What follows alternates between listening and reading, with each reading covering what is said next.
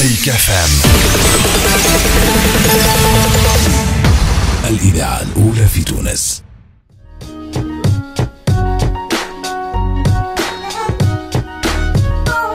سلام البارح صارت فاجعة في البلاد. انفجار normalement يضرب في روسنا الكل ويقعد الصدى متاعو يتعاود في بلاد كاملة. كان مازال فيها شوية ضمير.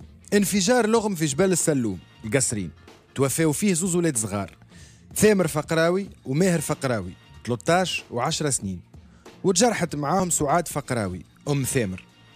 عائلة طلعت للجبل باش تلم الحطب باش تستقات.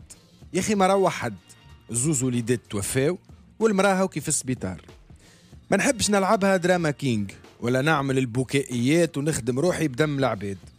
وباش نتجنب تصفية الحسابات ومانيش باش نفش شغلي في حتى حد.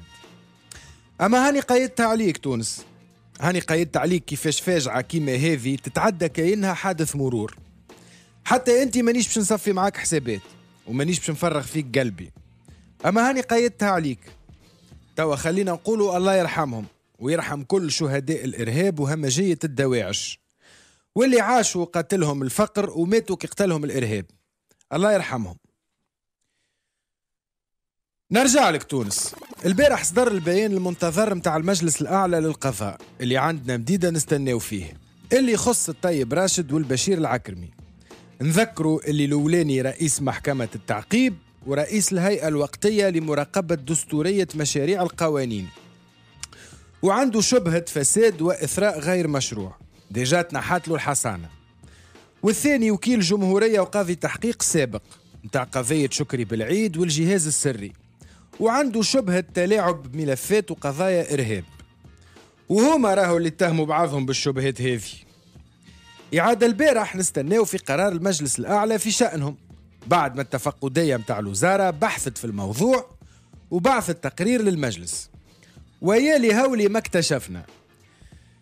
المجلس الموقر أعطانا ديباجة تدوخ على سيادة القانون والاستقلالية والحوكمة الرشيدة ونزيهة وشفافة والجماعة الكل.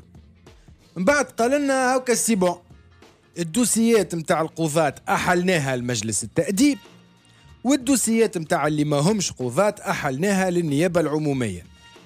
كي تغزر لها من بعيد قول عادي هذا المجلس الأعلى للقضاء. مشاكل القضاة تابعينه ومشاكل غير القضاة خاتين. أما سامحني. يا أخي الطيب راشد مش فما déjà تحقيق ضده وتنحات له الحصانة؟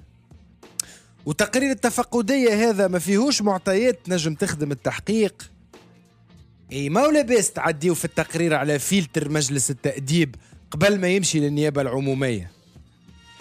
أما هذا الكل كوم وملف السيدة وزيرة العدل بالنيابة كوم آخر. خاطر المجلس الأعلى للقضاء فرشها. سيدة الوزيرة أنت أحلت تقرير التفقدية للمجلس نهار 23 فيفري. ما ولا من غدوة تبعث لهم مراسلة تقول لهم بطلت رجعوا لي التقرير وقرار الإحالة. عليه بطلت. يا أخي مش من واجبك تحيلوا التقرير؟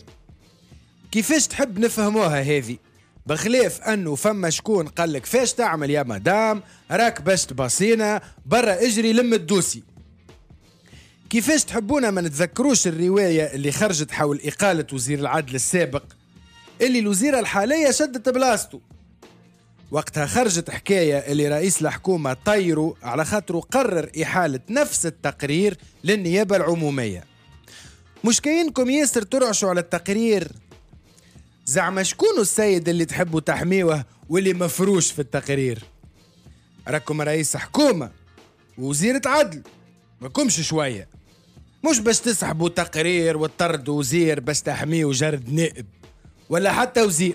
تي هذوكم هاي هم طايحين كالذباء هذا ريحته متاع رئيس ولا أمير ولا شيخ ولا ملك.